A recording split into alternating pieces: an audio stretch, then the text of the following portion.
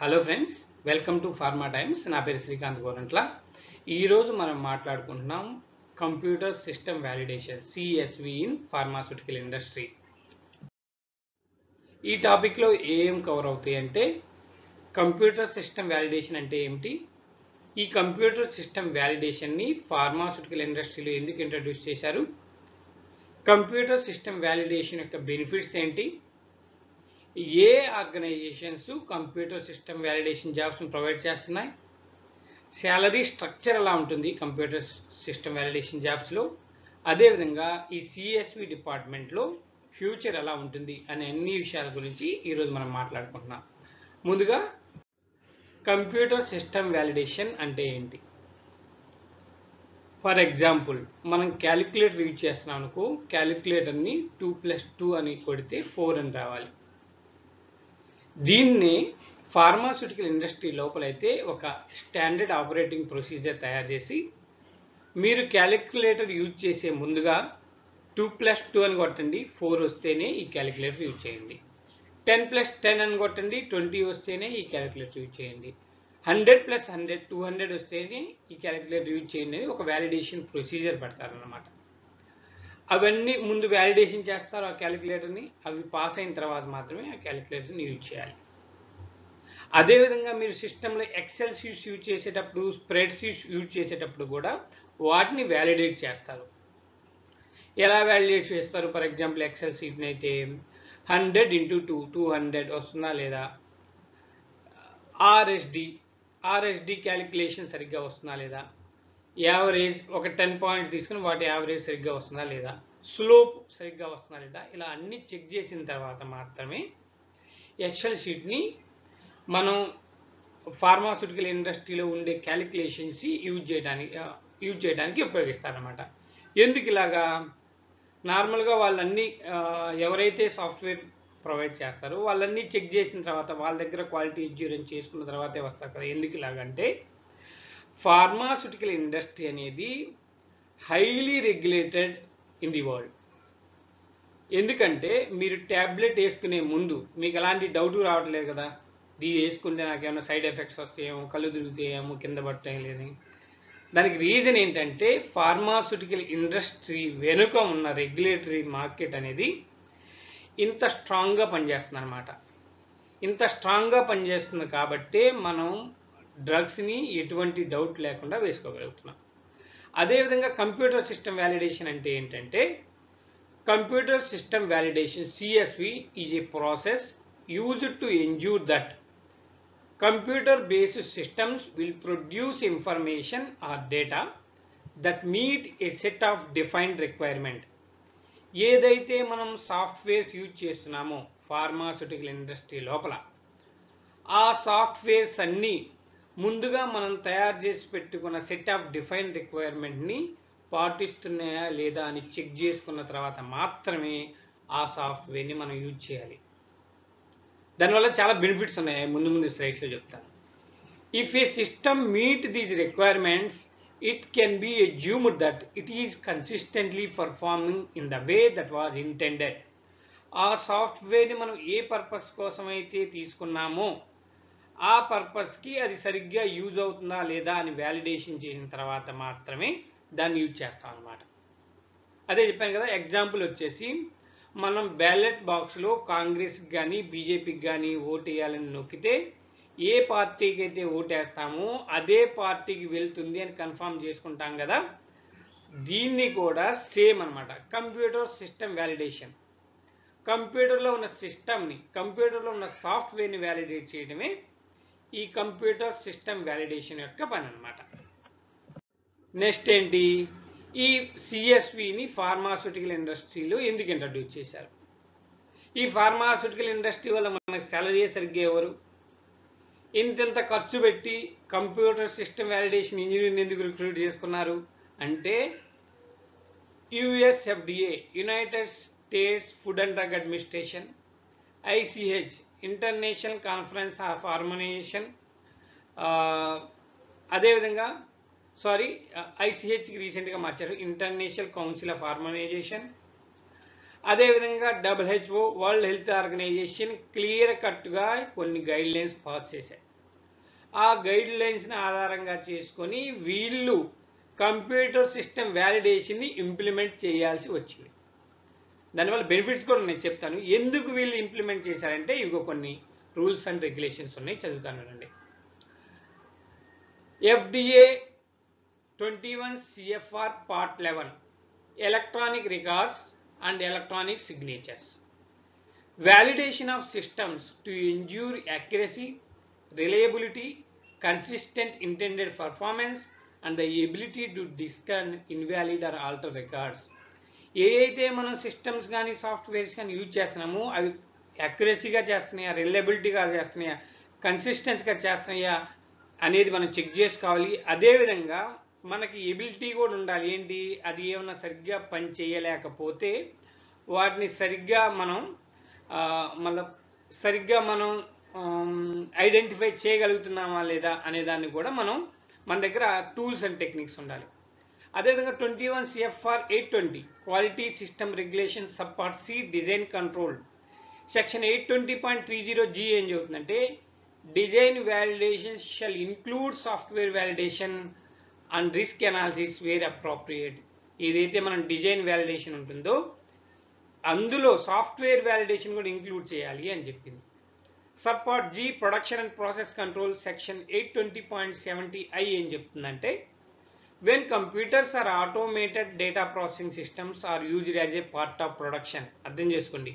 ప్రొడక్షన్లో కానీ క్వాలిటీ సిస్టంలో కానీ ఏ computers automated data processing systems manual కాదు మనుషులు చేసే కాదు ఆటోమేటెడ్ డేటా ప్రాసెసింగ్ సిస్టమ్స్ ఏదైతే యూజ్ చేస్తున్నామో the manufacturer shall validate computer software for its intended use వాటిని కంపల్సరీగా వ్యాలిడేట్ చేసుకోవాలి.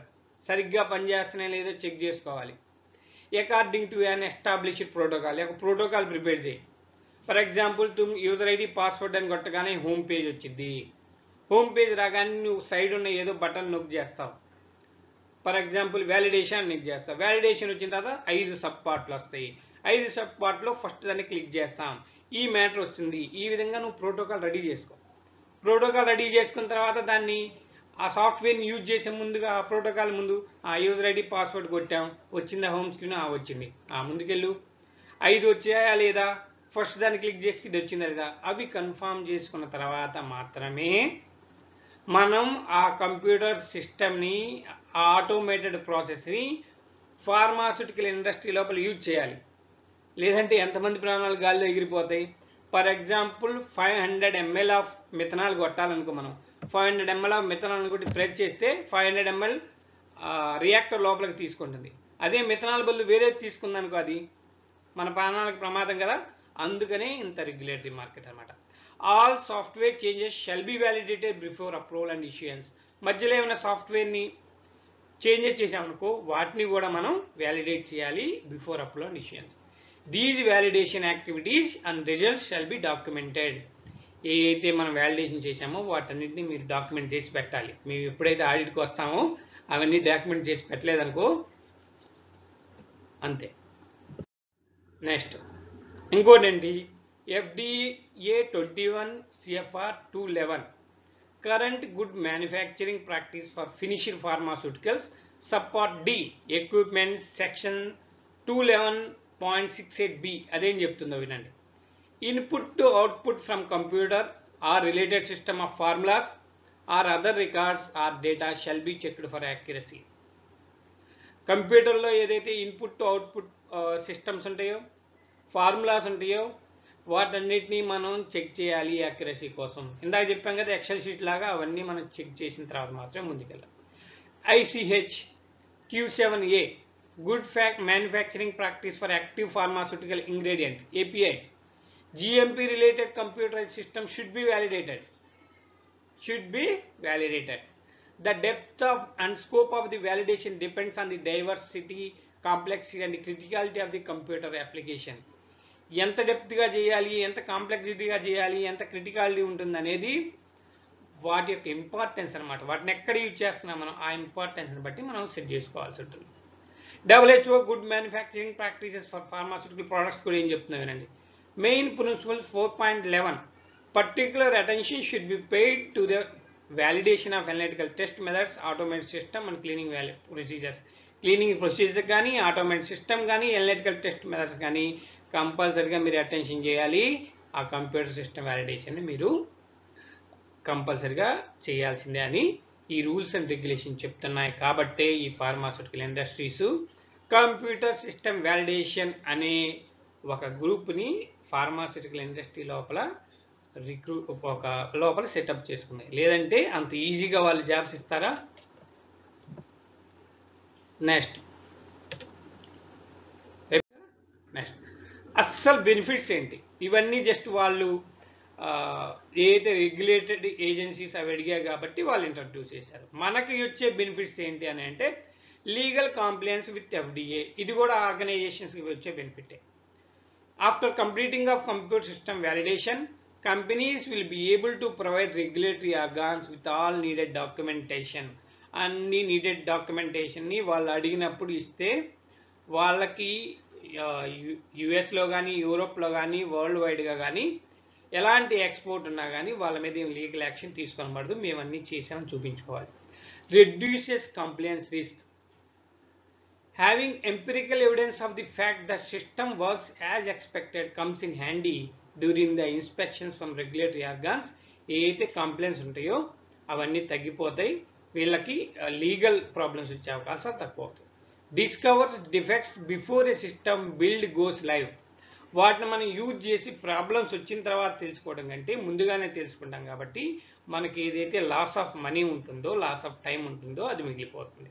Provides companies with continuous improvement వాటన్నిటినీ చేయడం వల్ల మన సిస్టమ్స్ అనేది ఇంప్రూవ్ అవుతాయి మనం చేసే వర్క్ ఇంప్రూవ్ అవుతుంది.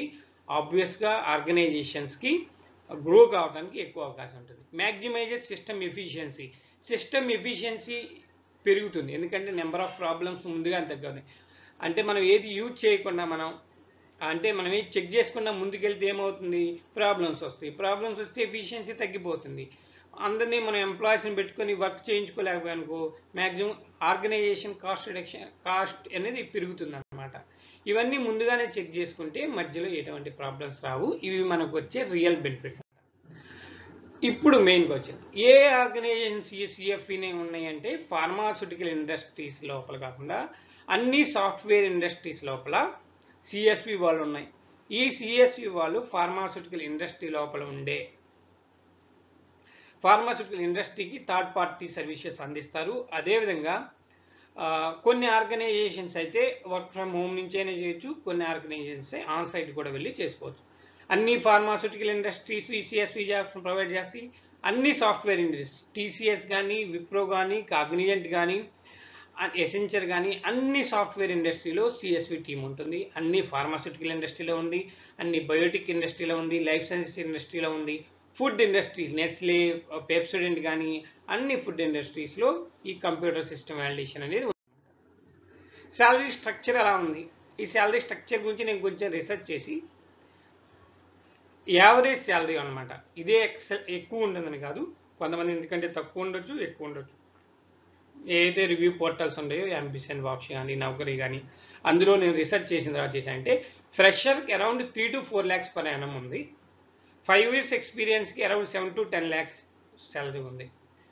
Ten years experience ten to fifteen lakhs కూడా ఉంది. కొంతమందికి ఎయిట్ నుండి ట్వంటీ ల్యాక్స్ కూడా ఉంది. ఇది యావరేజ్ శాలరీ అనమాట ఎలిజిబిలిటీ క్రైటీరియా ఏంటి? ఎలిజిబిలిటీ క్రైటీరియా ఏంటంటే ఎవరైనా గ్రాడ్యుయేషన్ చేసినా కానీ ఎలిజిబులే ఫర్ ఎగ్జాంపుల్ బీటెక్ చేసినా ఎలిజిబులే ఎక్కువ ప్రయారిటీ ఎవరికి ఉంటుందంటే బీఫార్మసీ వాళ్ళకి ఎంఫార్మసీ వాళ్ళకి అదేవిధంగా MCA master of computer system application వాళ్ళకి ఎక్కువ ప్రయారిటీ అనేది ఉంటుందన్నమాట. నెక్స్ట్ ఏంటి?